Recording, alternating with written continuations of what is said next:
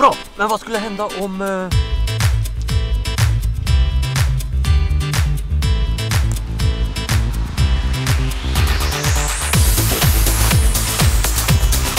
Oh no.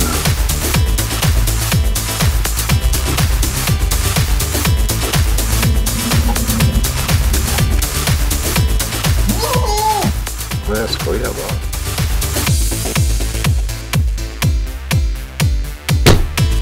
Och nu kan du muddra mig! Stopp dig! Var inte blyg!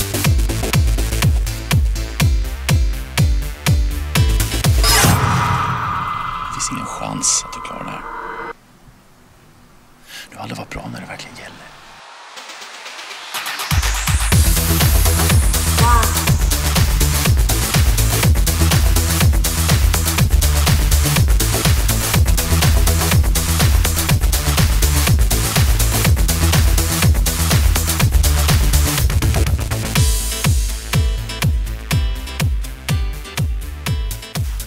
Sorgencom.